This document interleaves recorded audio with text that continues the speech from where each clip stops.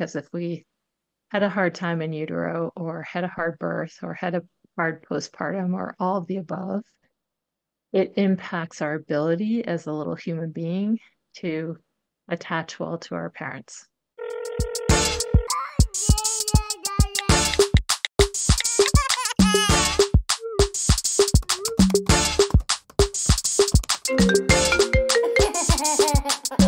And it's a ticket talking Mazda for the biggest. That's a comma and a comma and a comma. Gotta get it, get it. And it's a ticket talking Mazda for the biggest. That's a comma. Hi, Stephanie. Nice to see you again. So nice to see you, Saríce. How are you? This is the second time that we've spoken, but you just have this very like relaxed vibe. I feel like when I see you, I just automatically like take a deep breath and relax. So that's something that I Oh, that's so appreciate nice. about you, and we barely know each other, and I'm sure you'll the other people will get this positive impression from you as well. Thank you. You're you have a very interesting background and you have a book that came out, so I'm so excited for you to tell us about it. But let's start from your background. Sure. So, um, I have kind of had a lot of different careers. So I started out as a journalist and then became a teacher and then became a wilderness therapist. And now I'm a pre and perinatal psychology psychotherapist and um, coach, parent coach, and educator. And so I kind of combined all these things that I love, which is working with people, working with families, um, really doing um, kind of that in-depth exploration, and also working with expectant and new parents, which is really my focus now, and their little ones up to about age five. Um, and just hoping to help get those families off to the best start that they can get off to in their journey of becoming a family. Um, and part of that is my a lot of my background is in attachment and bonding. And so um, I really want to make sure the the parents are um, well bonded with their child and the child is well attached with the parents. And um, you know, coming into parenthood can be sort of a bumpy ride for for many people. Um, there are a lot of a lot of new skills to learn and um, a lot of things to kind of understand about child develop, development. And so um, that's really my passion is is working with people. And so I work as a psychotherapist doing kind of the deeper therapy work. And then I also coach parents who are not wanting such deep work. They're wanting more like uh, strategies and ways to help their kids. And then um, part of it, as you mentioned, is is the book that I wrote, which is Preparing for Parenthood 55 Essential Conversations for Couples Becoming Families. And I say couples, but I know some people come into parenthood as single parents. So it's also helpful. There are helpful questions in there that they can kind of ask themselves and talk about and come to conclusions about. But it's really about having these foundational, in depth conversations um, and coming up with strategies of how you want to do family together, how you want to Mm, do life together as a family. I love it. I wish I had that before I had my son. I wish I had it before I had my girls too. Yeah. You have two girls. I have two girls. Yeah, they're um, one's a teen and one's a preteen. Um, and so we're we're kind of in the next exciting stage of of life together, and I'm learning all kinds of new things about being a parent to a teen. Wow. Yeah. I, I don't even want to imagine puberty and all that, but we'll get there. We'll get to that bridge eventually. Yeah. So, and you mentioned something, uh, you were a wilderness therapist. That just stuck out to me. What, what like, could you uh, elaborate on that? It sounds interesting. Sure. So it's really um, about focusing on um, the wilderness or nature as uh, an impactful teacher, right? So when we go out, say, say we take a group out backpacking, hmm um, which is a big part of uh, kind of the training around it. Um, nature presents all of these consequences for the choices that you make, and they're very clear. Like, so perhaps you have someone who's like, I don't feel like setting up my tent I'm too tired. And then it rains that night. So it's a very clear Clear experience or or it's buggy or something, right? Or, you know, I don't feel like cooking food tonight. Well, okay, you'll be hungry, right? So it's um and and it's also in my experience nature is incredibly healing. And so it gives us a space of being unplugged, being away from screens, being away from all of our everyday normal worries and cares, um, and allows us enough space to kind of think and make new decisions from those places. And hopefully we can carry those back into the world. So um, my work was a little more kind of what we call front country versus back country. So I did a lot of horticultural therapy. I helped schools set up gardens and then we'd go out with the kids and you know what kind of lessons do you learn about putting a seed into the ground and caring for it and Mm. nurturing it and Wow, I watching it love grow that. you know so so things that people could access a little bit more easily if they can't get out into the real kind of wilderness areas Wow, I love that. And there is something I ask because I also find just the act of going camping and being in the wilderness, I find it therapeutic exactly for the reasons that you mentioned. Like it, me and my husband used to do this a lot before we had our son, but we're actually going, we're actually going this, we have a holiday now, so we're gonna go this weekend. Um, but I like it's the part where you're like detached from, you know, all the the noise of civilization and our phones and something that I love also about cooking and preparing food outdoors and building up your shelter. So yeah, it was kind of I was just wondering if it was like that and it is kind of what I it imagine. I love it. yeah yeah Was it your experience as a mom that brought you to work with pre um, mothers and parents preparing for parenthood? Tell us a little bit about that. yeah so I, I've always worked with children and families both as an Mm. educator and then as a, I coached swimming for a long time I was a swimmer a competitive swimmer for a long time and Oh, so I coached have and lived many lives. I've lived many lives, yeah.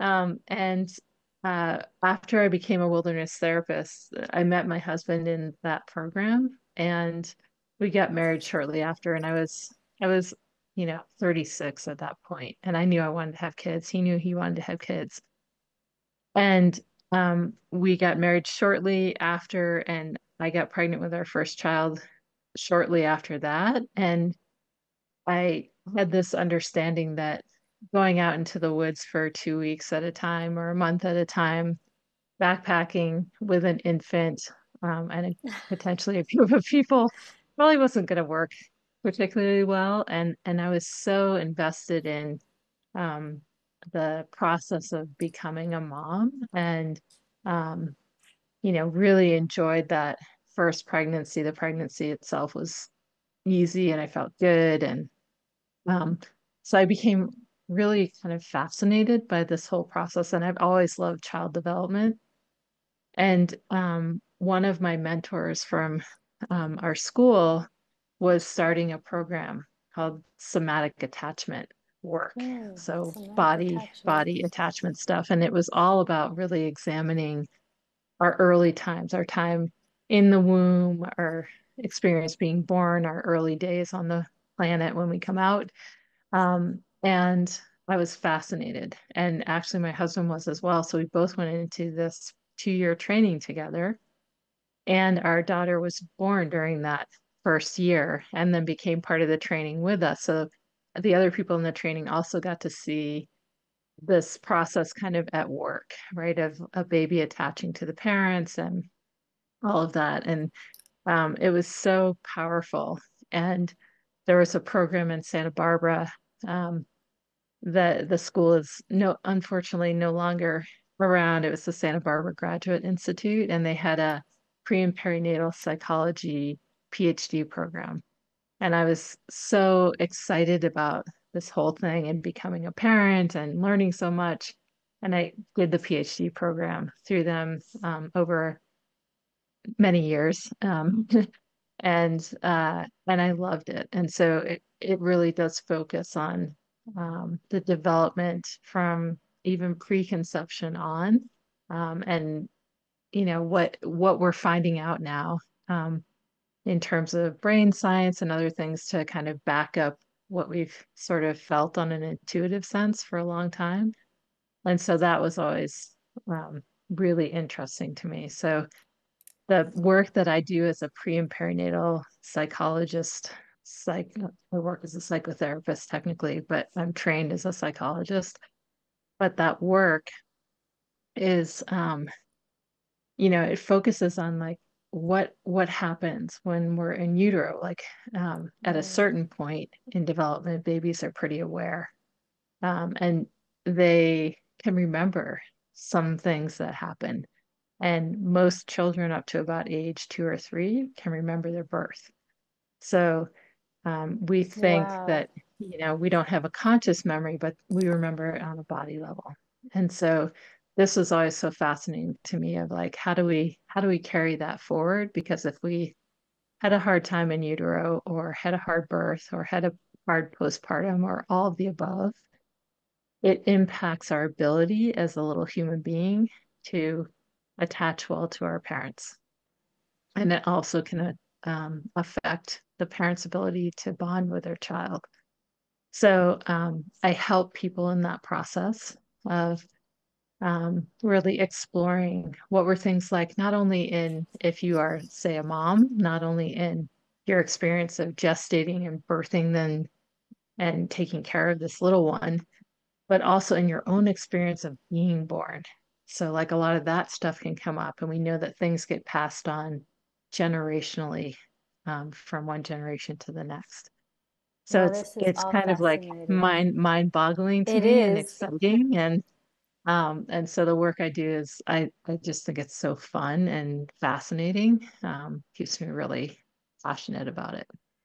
I never thought about the concept of us remembering our birth or even being aware of our birth until I did a hypnobirthing class when I was um, a prenatal hypnobirthing class, and then they talk they spoke about that that the and it makes sense. Like maybe some people thinks it sounds weird, but like we're we're living beings and we're creatures, and just like we have experiences from one, two, and three that we don't remember, how can people prove that we don't have you know we don't have the experiences emotions and conscious things that we experience in utero so that was when i was first uh, introduced to that and this is such a fascinating topic can you share some of your like the most compelling insights you have Sure, yeah. I, I think um, one of the dangers that we can fall into if you're a if you're a parent having um, a baby, if you hear this information, you can take it on as like another terrifying thing that you have to, you know, do mm. absolutely right. Like I don't want to I don't want to mess my baby up for life,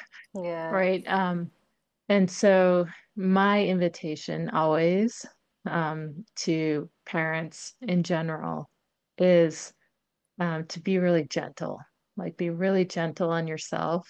Um, know that none of us are perfect. We're all kind of on this wild life journey together and things happen and and 95 to 99% of everything that happens can be repaired. So the beauty of it is if something doesn't go well or the way that you hoped it would, so say you were really, for example, hoping for a natural birth mm. and you end up in an emergency C-section i was just thinking about my experience. that was me oh If you have that and i experience, you don't have to say, yeah. And you don't have to say, oh, like, especially I think a lot of moms will say, you know, to put it on themselves, right? Of yeah like, I did something wrong, or, you know, I can never go back and redo that. And the truth is, actually, all that can be repaired. You know, there obviously are some things that can't be repaired, but there are very few and far be- between in terms of um, psychologically, right? Most things can be repaired. So it's like even just speaking with that baby, or if even if your child is older, like people do this with their adult children of like, wow, like I I imagine this experience must have been really hard for you. Do you, you know, how do you see these things playing out? And and people have amazing insights. And so the gentleness and the openness to repair, I think is so critical for for any parent, any mompreneur, any you know, like anyone. Um, yeah and And I think it can go a long way to making everyone's lives easier.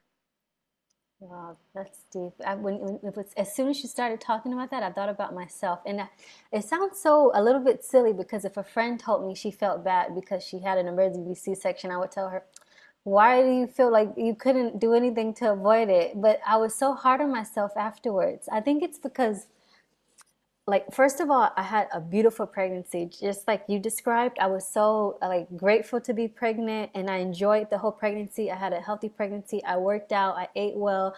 Like you know i'm a nutritionist. I was like really on everything and and just things just went wrong. I was in labor for 31 hours and and he didn't like um, he wasn't in the right position he was like back facing and they said it was i was just too long and I, also my heart rate and the baby like my son's heart rate was so they just took me for emergency c-section and i was just first of all i planned a natural birth so ending up in an emergency room was like i would mm-hmm. it just it was just a flip. and i kind of felt like I don't know. I know my mom like she I don't want her to feel bad, but it's just like she had a nat- like she had all of us. We were four siblings and she had all of us naturally without epidural. My sister had all of her kids. Like it's just something like that. I don't know. I don't want to say like the family took pride in, but it's just like a, a standard. That's just what like we do. And I was the one who, you know, who did it. And I felt like this guilt and a shame. And I didn't even tell like everyone like in my family. I'm sure like my some of my aunties now will hear this and they don't even know that I had an emergency C-section. So what do you say to women who probably feel like me? I don't know if it's something that's common or or not. Well, it it is common. People often feel badly that they didn't get to do something the way they wanted to or hoped to. Um, and again, the importance that everything can be repaired and to not like we take on so much mom guilt, right? Mm-hmm. Parent guilt in general, but especially mom guilt of um, I really wanted things to be a certain way and they turned out differently. And so the other piece that I would really offer to people in general, but parents especially, is the best laid plans. like they're always going to change, right? So we have to have a lot of flexibility and hopefully um, again that gentleness and once you're a little farther on a sense of humor right so it's like Yeah, now I like oh released it, but I just remember how I felt back then. Now it's like almost two years later, and I kind of feel silly that I felt so I was so hard on myself. And I literally, I like, I'm thinking back, and I was really ashamed, like that I had a C-section. mm, But and now I think about yeah it, it's so like I feel now I can look back and laugh at it. I feel like it's it's like yeah, it's not that serious. yeah and and you can talk it over with your child too so you have a two-year-old at Yes, he's gonna be two yeah soon. Yeah. and he can he's still in that that window where he can potentially remember his his period of being in your belly and being born so it would be really fascinating i think Saríce to to just check in with him around you know like do you remember when you were in my tummy like do you remember um the experience? And kids even that age can share their lived experience and and some won't but a lot will. And you can say yeah at the time I felt really badly and now I realize it's just what had to happen. That's the way that you needed to come in the world because it was getting unsafe. And I'm sorry that we didn't get to have the birth that we wanted right? And and even that can be like so healing. I know you've said that you've healed from it but even that can be healing on a different level for you and healing for him right? Because he might feel like, oh, like I let my mom down because I didn't come out the way that she wanted, right? And then you can you can say, no, like this is this is just what was happening. We we were in this situation and it had to go this way, and it's Right. okay. And here we are. We're we're doing great. It's funny because my husband, he kind of says it jokingly, but maybe like not so jokingly. My son, he like hates when we put like a shirt on him. It's probably because he got stuck and he couldn't come out, so he's still traumatized. And I'm like, no, when you're saying this, I'm going to say maybe there's something to that. Yeah, and and there is something to that. And not necessarily traumatized, but he might not like that sensation. Um, Mm, and and you can help him with that, right? So it's like it's a it's a sweet way to repair even at that age. Um, and and maybe he decided like that's not the way I want to come out. Like I, I'll take the the exit door instead. Yeah, So sometimes I think so because he was such an active baby in utero, and what, even now, like I see, he's so wild and active. I told I told my husband like, you see, that's what I had inside of me because sometimes he didn't believe me when he was like literally kicking me all the time. I would see his feet coming out. It would like scare me sometimes. I can't. I, I like I, so many times I was on Google like, is my baby too active? I can see my baby's feet coming out. And now that Mm, he's out, that's so his personality. He's just like a really active boy. uh-huh. So Yeah, maybe so that's just they how they he tell us a lot.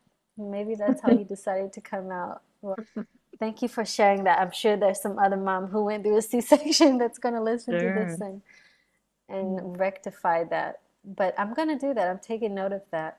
And you spoke about attachment. What are some things that we can do to cultivate healthy attachment with our babies? Yeah, great question. So I want to clarify that when I'm talking about attachment, it's attachment theory versus attachment parenting. So there's, Mm, you know, um, they they do um, kind of come together, but attachment is something over the entire lifespan.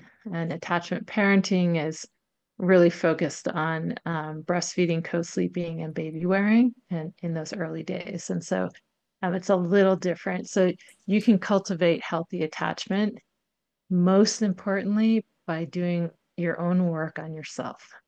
And um, for a lot of us, we haven't maybe kind of looked at our our past, how we grew up, or maybe even how our parents grew up, um, our relationship with siblings, things like that. Um, and anything that needs to be healed, trying to heal that. Right. So doing that deep work on yourself is always number one. It's going to lead to better relationships across the board. For our child, um, so we bond with our child, our child attaches to the parent or caregiver. Um, and for them, it's really about um, staying present, right? And and the more kind of settled and present you are in your own self, the more present you can be for your child. Um, that's kind of a tall order sometimes for people in our hectic, busy world, um, especially if we're juggling a career and other things. But it's really about just like landing back in your body and just, wow. you know, settling before you go to pick up your child or play with your child or even have a conversation with your teenager to make sure that you're really um, grounded and settled. And that's perhaps the most important piece is to be present and be available, right?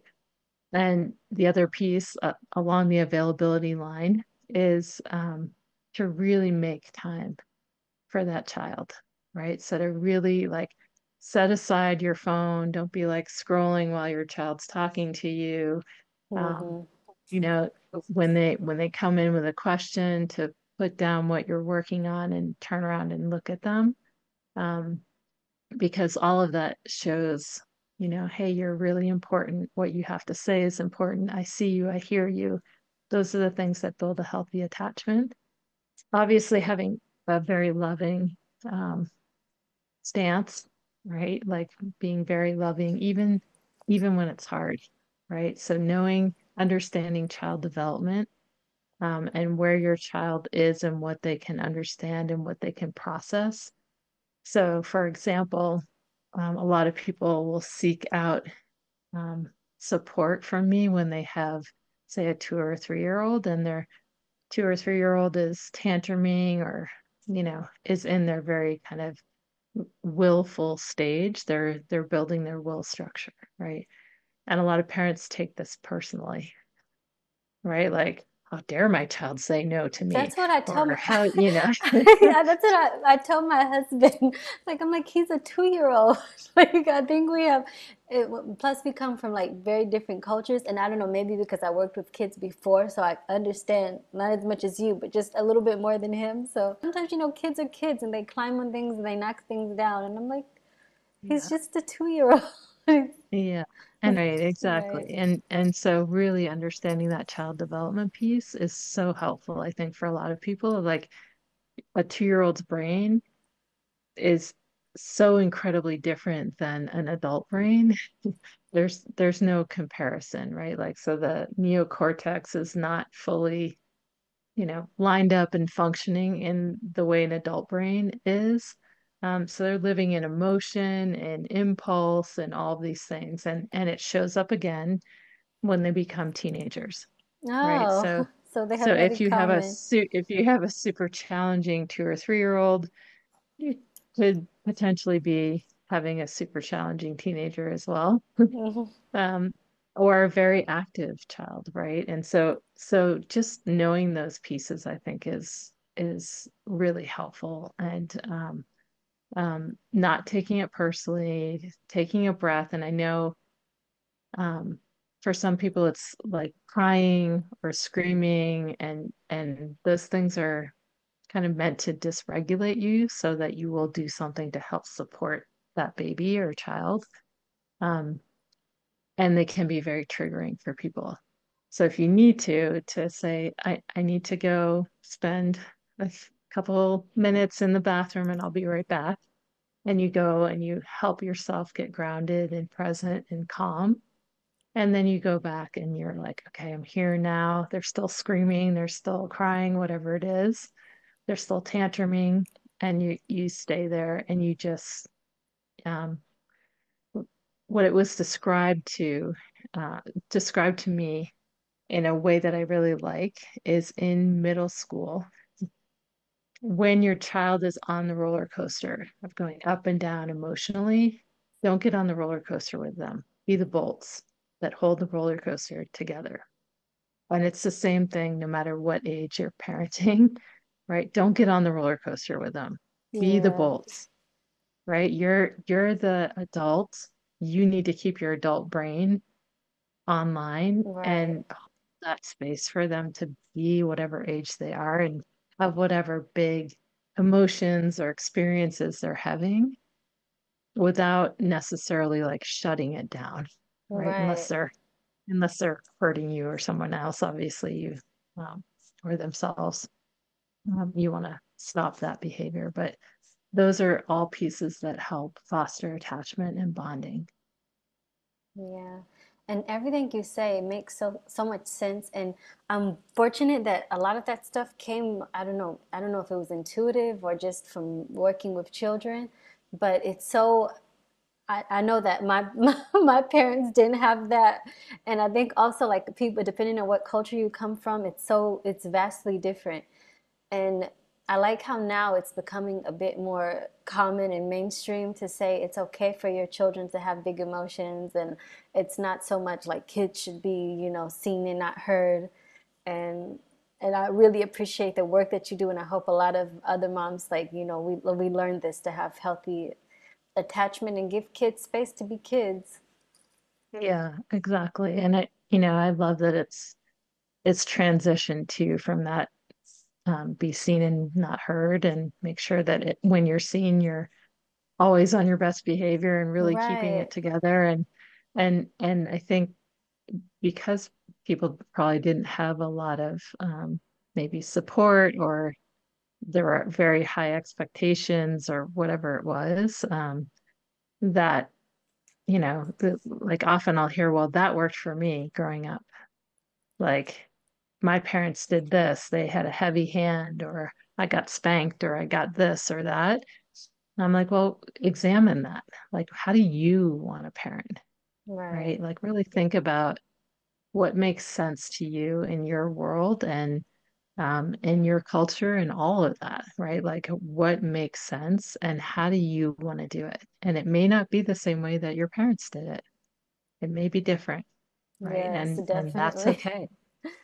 My Yeah. my grandfather still thinks like he it's just he's you know old school. When babies cry, you shouldn't like because I'm always like you know what I like whenever he cried, I would rush over to like you know console Mm. him and be there. I don't know, I just couldn't you know couldn't hear him just like no, you're not you're gonna spoil the baby, and he means it. He's such like the softest grandpa now, but he really just said it. I think that's just what they said back in the day. You're gonna spoil your baby if you hold them too much and and I don't, and I did like, of course, I was like obsessive when I was pregnant and reading about parenting all around the world. And I know that in a lot of like third world cultures, the the, the baby barely touches the ground or anything for like two years. So I always like carried him, and I think that really did help. Like you can correct me if I'm wrong, but he wasn't a colicky baby.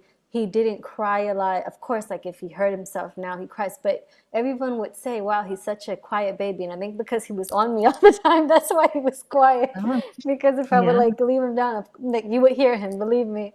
But yeah, Yeah. And and to just to clarify for anyone, like you can't spoil a baby. There's no like milk spoils. You can't spoil a baby, right? A baby needs um a lot of attention, a lot. They can't regulate themselves. So like putting your child down and just leaving them screaming and crying, um, they they can't regulate themselves. Um, until a certain age. They can't, they don't have that ability. They need an they need an adult there who is um, kind and gentle with them. And they're going to most likely feel safest on whoever they're attaching with. So whether it's mom or another parent, um, holding them in close, especially in the early, you know, the first, the fourth trimester, that first three months post birth and as long as they'll let you do it afterwards, because some kids are, they just, once they start moving, they want to right. move. hmm Um, so it's different per child. Um, but that holding is so comforting, right? And so you're setting up, you're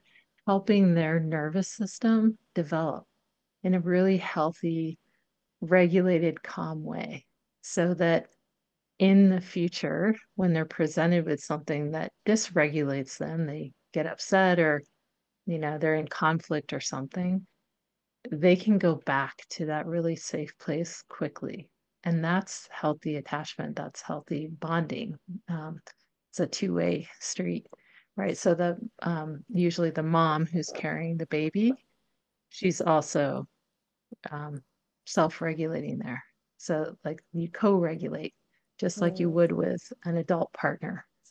So it's a beautiful thing, I think, and I think it's critical for our development. And I think, you know, um, kind of focusing on independence versus interdependence um, can be a little dicey, right? We want our we want our children to be interdependent.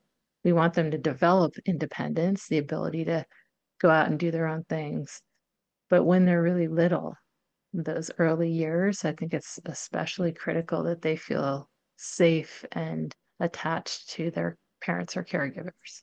And it's funny you mentioned independence, and I remember that I had a friend who was saying like that my, I'm gonna make my child like really clingy because um, I was always wearing him and he was always with me, and I'm a stay-at-home mom.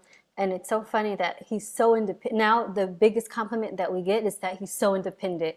Wow, he's everyone says that he's so independent. So he's the opposite. He's not clingy at all. Once he was able to walk and run on his own, he's like, "Bye, mama." And I sometimes I feel like oh, I'm, I'm offended. Exactly. But but the beautiful thing, Saríce, is you you helped create his healthy, secure attachment, right? And a securely attached child or adult will feel less anxious moving away from their secure base. And you're the you're the secure base because you helped create that for him. So you'll see a two-year-old who um, feels good moving off to explore the world because they know that you have their back. They know you're watching out. They know you care about what's happening to them. they'll still look back and be like, "Are you still there? Okay, I'm gonna Yeah, go." I feel like that's You true. know? Like he trusts that mom's gonna be there. Because sometimes I wonder, like, he's just gonna. Sometimes I wonder, like, how far is he gonna go? He, he, yeah, he's just really independent now. He wants to do his own thing. But I feel like, but he will look back, like, I know she's there. Like, Exactly. And if a if a child doesn't have that, so for whatever reason they didn't develop that, they will be clingy. They'll be clingy or they'll be so independent, you're like, they're not interacting with the parent. So you'll see both of those things, like either a child who is like what we call ambivalent. So they come in and they're they're scared and they they try to go out and explore, but they can't trust that you're going to be there for whatever reason. Hmm. Or a child who has a more avoidant attachment, which is um, you know, the parents just didn't show up really. And they're like, I got it, I can do it all myself.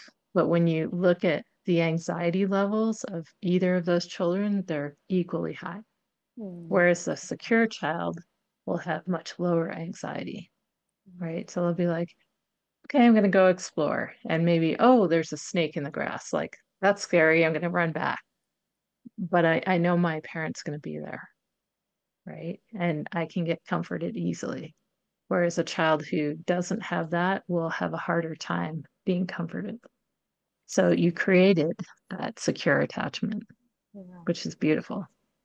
And this made me think about sleep training because I remember when when when I, while I was pregnant, so there were so many things that I planned and then didn't go as planned. So for Mhm. example, I planned a natural birth and like I didn't have a natural birth. Okay, breastfeeding, luckily it went smoothly. And as far as sleep training, I don't know why, but when I was researching and things, sleep tra the algorithm was just feeding me sleep training, like how the importance of sleep training and mama sleeping and and I decided, okay, when my son comes, I'm gonna sleep train him. But then when he arrived, I end up not only that he's not in his own crib, he's still co-sleeping with me. Like it went like the opposite. But it's just like it like it, I don't know about there, but in Israel it's really I felt that was another thing that I was kind of ashamed of. Like I was I, it was something that like I didn't even tell my friends that I don't Mhm. know, it's just it's like taboo here. It's dangerous. But then the more like after I had my baby and the, then I was listening, I was like, okay, there are some benefits to co-sleeping. First of all, the benefit for me was that I didn't have to like I was breastfeeding, so I didn't have to get up. Like I really tried for maybe like two or three nights, and then that was as long. But Mhm. but I don't know. To me, it was fine. I felt he, we did it safely. Can you talk a little bit about sleep training, pros, cons, what what you would recommend? Yeah, so um, I always feel like this is kind of um, tender territory to tread into because I Yeah, never I'm want to make anyone I, I never want to make anyone feel badly. Yeah, Uh, of course. So, you know, often there's this idea that um, a baby will learn to you leave Exactly. That's alone what I was told right? before. Right. Yeah. Um, when they're very little, like I said before, they can't regulate themselves. So what will happen is a baby will cry and cry and cry and realize that no one's coming and stop crying because they're exhausted, not because they've regulated. So you have this, what happens biologically is their adrenaline and cortisol shoots up and then it tanks and they're exhausted and they fall asleep. So you do get the piece around the baby goes to sleep. Um, but what can, can get set up is something that's hard in their nervous system. And again, I want to say this with all due respect. I know a lot of people, if you have a, a child who really struggles with sleep, and at some point most of us do, um, sometimes for your own sanity, uh, you can't have them right there, right? So for some parents, um, co-sleeping or, you know, sidecar sleeping, as long, you know, as long as it's done safely, you can co-sleep, right? Um, and that's something you definitely want to check out with um, your pediatrician or whoever. Like, I don't want to give advice on how to safely Right. co-sleep, but if you have a sidecar or a certain, there's a certain kind of pillows and things like that Yeah, that's um, how we started, like a little kind of a Yeah, nesting in the bed, and then after he got older, that yeah, exactly. As they get bigger, it's not as much of an issue, but for little ones, obviously, you have to be super careful. Um, and so that because they can feel you and smell you, um, provides comfort, right? And so you're more likely to have a, a an infant who can actually sleep better, especially if you're nursing them. Mm, And it it ends up being easier for a lot of pe people to do it that way, have them right there in a bassinet or however you choose to do that. Um, and so like sleep training, you can you can help in terms of um, having good awake windows, right? Like, and this is when children get older, not in the first three months, right, but um, providing awake windows, making sure they're eating enough, getting enough calories, things like that.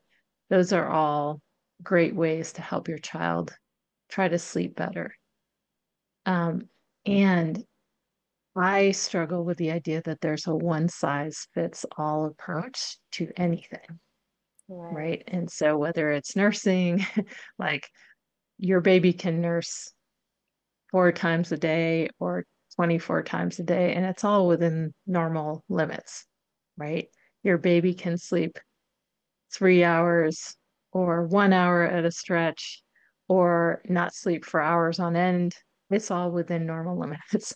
So training the child to sleep, um, I think in my perspective, probably happens a little later if you're trying to help support them. Like, let's get you into a routine. Like every night, we, you know, as they're older, we have our warm bath and our book and our song. And there's a rhythm and a ritual in that that is really helpful for children. Um, but I think sleep training um, can get a bad rap because people think, oh, it's the cry it out method, where you just put your child in a room and you don't respond to them. Um, and again, I know a lot of people have done that. Their children have turned out fine. Um, but but and it can create um, some challenges for them internally that you may not notice. Um, that can be healed over time. So I, I never want to put it out there as, you know, you've done something horrible to your child. It's not like exactly. that. It's a lot of people do it because they're in survival mode. They're like, I haven't slept in I don't know how long, and I'm worried about myself as a human being and as a parent right now. Like, I can't function and I have to function. And so, finding a method that supports whatever you're dealing with, right? Like, maybe you're a single parent and you have to get up and go to work for 12 hours, Right, right? And you can't not sleep right, right? And so sometimes you have to do what you have to do and um and know that um it's not going to be like life scarring for this little being. And if you can do it differently and give more support, I think that's helpful for children. So that's my kind of way to dance around the sleep training issue. Like it's yeah. it's hard, it's complicated, and there's no one right way to do it. That's that's something that I like that there's no some people think you have to do something a certain way and basically you're saying everyone should do what works for them and their family. And I felt uh, some shame and and for a minute I felt like maybe I'm not doing something right because he doesn't go to sleep if I just leave him there in the, in, in the crib in the bassinet. And I was also like Googling, and Google was telling me by this month, by three months, they should be able to self-regulate. And I'm like, well, he's not. And and then I did some research and I realized, okay, like it's fine if you co-sleep safely and you know what I learned. And I feel like that also turned out beneficial for me because for example, we recently, maybe a few months ago, I just decided, okay, I don't want to, I'm still nursing, but I don't want to nurse during the night anymore because I just, I had enough. And it was so cool how easy it was. I was so afraid. I even told my husband, okay, I decided that I'm going to start night weaning. We might have a difficult night, but but it was so easy. He didn't even, it wasn't even a difficult night. I explained to him because now he's also at the age where we can communicate more. I just told him like really clearly, nighttime, like no sisa, like no no milk. Daytime, milk, okay. And then he woke up at Ah, night, he wanted, and I said, no, in the morning. And then, and then he just turned around, and then in the morning he nursed.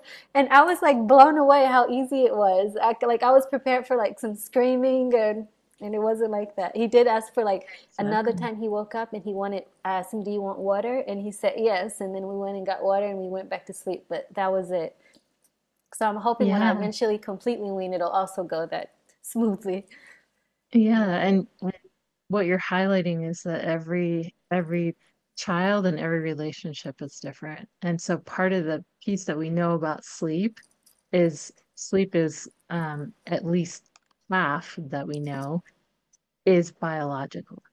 Mm, So there's you you may have just a naturally good sleeper, or you may have a child who really doesn't sleep well.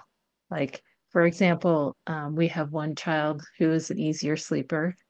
Our second child was not a very easy sleeper and still has some challenges with sleep. And mhm. so um, I think it it's helpful to understand that it's not always just what you do. It's also sometimes the child's temperament or the child's biological makeup or whatever. And, you know, you may have a child who weans easily at, at night. You may have a child who is really upset about that. Again, all normal. Right, No matter what's happening, like I think we have this this sense of like something's really wrong, right. but but I think it was also the timing because if I would have tried that a few months before, before he, I think it mm-hmm. would have been a, because he was just, why did I stop? Because he was nursing. It, I felt like we had a regression where he just wanted to nurse all night again and I wasn't sleeping well. I'm like, what? He start, he went from like nursing a couple of times a night where he just attached to the boob, like, so, but mm-hmm. I guess, I don't know, maybe the communication and he's able to understand. He said, okay, mom needs a break. yeah. I don't know, but yeah, I know every kid is different. I remember my sister, she has three children. Two of them were amazing sleepers, and one, like, even till now, she's not the best sleeper. So, yeah, every kid is different. Yeah. And every parent's different in terms of what they can tolerate, Right. right? Yeah, that's true too. Right. My Um, husband tells me that. He says, "Well, I'm so happy you're the mom," because because he says if we were if it was like opposite, he says I don't have as much patience. He said I wouldn't be nursing, I wouldn't be doing anything. Yeah. And I don't want to take up too much more of your time, but you said so many interesting things that I wrote down here. You mentioned also um, like somatic attachment. Is that something that we were talking about now? What what is the somatic part? So this the soma soma stands for body. It means hmm body. So it's um, working with the body, right? So um, for example, when you do work around trauma, we know that trauma lives in the body. So you can do, for example, talk therapy, and that can have some helpful benefits. But if you don't address what's happening in your nervous system, chances are your nervous system isn't going to kind of um, integrate and repattern and learn new ways of being. Like, oh, when I hear, for example, uh, a siren going by and my heart starts pounding and you know I'm I'm sweating and I'm stressed out, but the siren has nothing to do with me. hmm Um, you know, your nervous system is having a reaction and you can help support it and heal it and train it to do something else. So that's the somatic work is like our body is giving us information all the time, right? We live in this like incredibly complex, fascinating um, home here in our bodies of like, oh, like I wonder, like getting curious, like I wonder why my back always hurts when I talk to my Uncle Jim, or I wonder why I get a headache when this happens. Or, you know, I wonder why when I feel scared, I feel like I'm not in my body, right? Like getting really curious about what's happening physiologically in your whole system is so helpful. And you can end up you know, we know that um, sometimes when you're holding on to things that are really hard, they can manifest as illnesses, Yes. right? And so the opposite is also true. So if you know that, you can actually heal some of those things before they turn into an illness, Wow. right? So like before something progresses to something very serious like heart disease or something, you can work with the pieces um, that are within your control. Obviously, there's some some pieces that are not in your control, but um, you can work with those pieces that are to help heal that stuff. And so it's really becoming aware of your body and and honoring the system that you live in. Can you give us a little example? Sure. So um, I end up doing a lot of trauma work. So a lot of people who come to me, for example, have birth trauma. So the birth did not go as they wanted it to. Um, and then they are having like physical reactions to things like, oh, I even see a hospital or I see an ambulance go by with the sirens on and my heart's pounding, right? And I know that that has nothing to do with me. So why am I why am I doing this? Like it's Right. impacting me. It's impacting my relationship with my partner or with my child. Uh, I can't sleep. I can't eat well, right? Like those are all signs of like, hey, something's happening that needs to be addressed. Your body's like, hello, I need some help. Mm-hmm. And you can't pretend that it's not there. Like we can't like shut it down. Um, most of us can't. Some, I'm guessing some people can just block all that out, but it ends up coming out sideways anyway, right? And so if you go head on and you direct you directly work with it, you can heal that. So one of the um, tools that I use is EMDR, uh, eye movement desensitization reprocessing, and it's um, it's a way that we get underneath whatever the story is and help um, your brain and nervous system reprocess, integrate whatever trauma happened, and essentially um, help it heal and kind of replace it with new thoughts, right? And so what ends up happening with those people who come with, say, birth trauma is they no longer have a reaction, Mm. right? So instead of reacting, you get to choose how you want to respond, right? And so I like that. Instead of reacting, choosing how you respond. Yeah. yeah. And and it can be so powerful, right? Of like, oh, like I can sleep at night. Oh, I'm not stressed out when I hear a door slam, like I don't jump out of my skin. Or, you know, we can now go to the um, nursing class at the hospital without me having a panic attack, Mm. right? Like, I mean, those are like real, um, tangible things that we can hold on to that happen for people. And if you're not living with that in your nervous system all the time, your nervous system gets to relax and then you get to be present. You're like, oh, like, yeah, life's just happening, and I'm here with my child, and some things are hard, and some days are amazing, and um, and it's just life kind of going on versus being in this hyper aroused um, Mm. state where you're, um, you know, you're even if in your mind you're like, this is ridiculous. Why am I thinking about it? Your nervous system gets hijacked right? It gets it gets held on and it's stuck in that state of stress, and we want to help it relax. And so the same is true um, for any any situation, right? Um, and sometimes your body's just giving you really more subtle signals, right? Like, oh, when I think about this issue, like my stomach doesn't feel that great. But I've never I've never um, attached the two together. And so you just get curious about it. Like if your stomach could speak, what would it say? Mm. Like, oh, I don't want I don't want to go there. I don't want to see my in-laws or whatever, whatever the thing is. Um, and then you just work with that. So it's um, I think the body is a, an amazing organism and such a tool as well.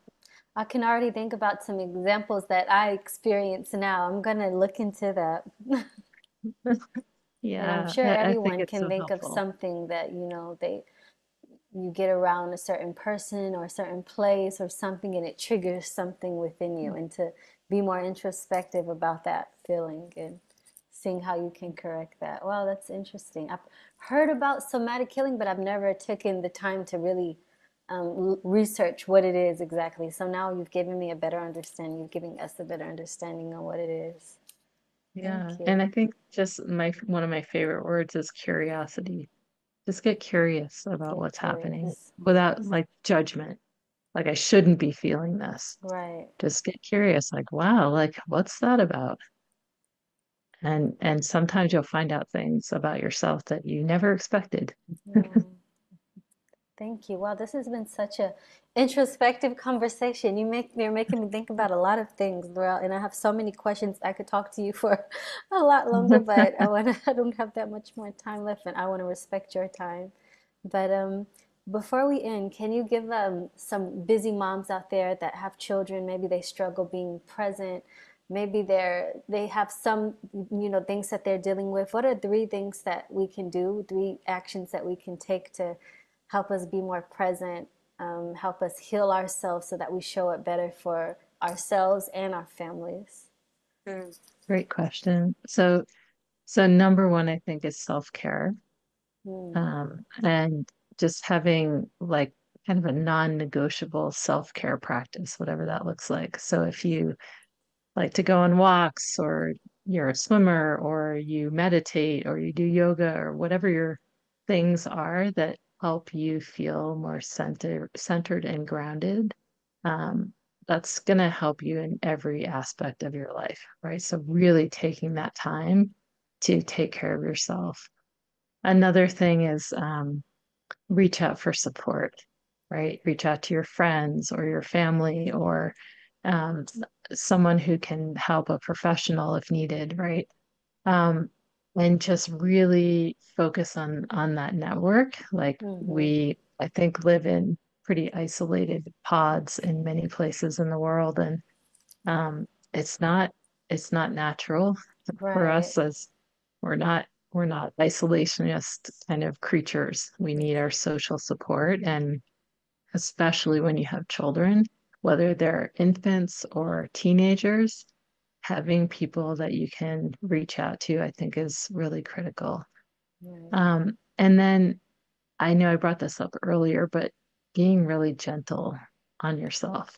So you're going to mess up as a parent right. right? Uh, whether it's like, I can't show up the way I want to for my child, or I can't show up the way that I want at work and show up the way that I want to at, at, with my child. I'm failing at everything, right? Like that's a really common feeling for a lot of people. Um, to have that gentleness of like, I'm doing the best that I can right now. And I might be a little under-resourced. And maybe there are some things I could kind of get off my plate so I could be more resourced. Maybe there aren't and this is just the way your world is. And in that space, just doing the best that you can and being gentle on yourself when you don't do the what the best that you think that you can, right? So like, oh, I really messed up that interaction with my two-year-old. You know what?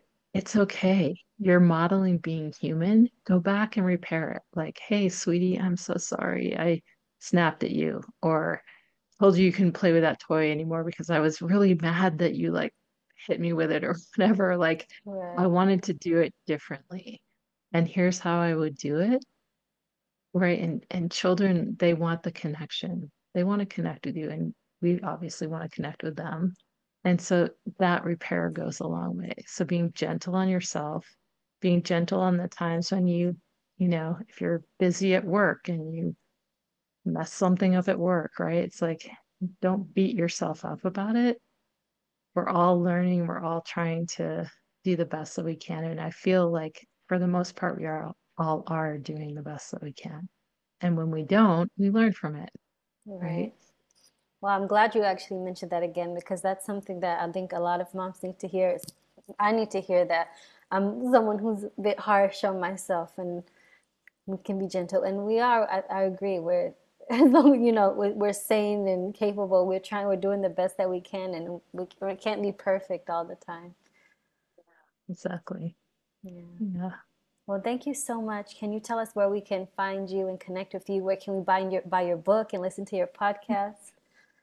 Sure. So my podcast is Prepared for Parenthood, and I just started it a short while ago. So I think there are only 10, 10 episodes up. So you could binge listen if you wanted. Awesome. Um, and that's on Spotify, iTunes. It's also on YouTube. I have a YouTube channel there. Um, my book is on Amazon or uh, bookshop.org if you are anti-Amazon for any reason. Um, so you can find them in, in either place. It's also in a, a few bookstores, but um, not sure which ones exactly. It's in Barnes and Noble right now.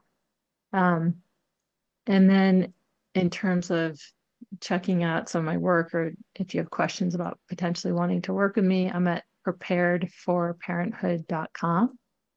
If you happen to be in Colorado and want to work with me as a uh, as a therapist, that's a different website. That's drduegertherapy.com. Um, and I'm guessing there will be show notes or something Yes, I'll link everything below. there. So, um, yeah. So I hope to hear from people. I hope, you know, would love to just hear how you liked the podcast and um, and all that. So, so thank you so much for having me here, Saríce.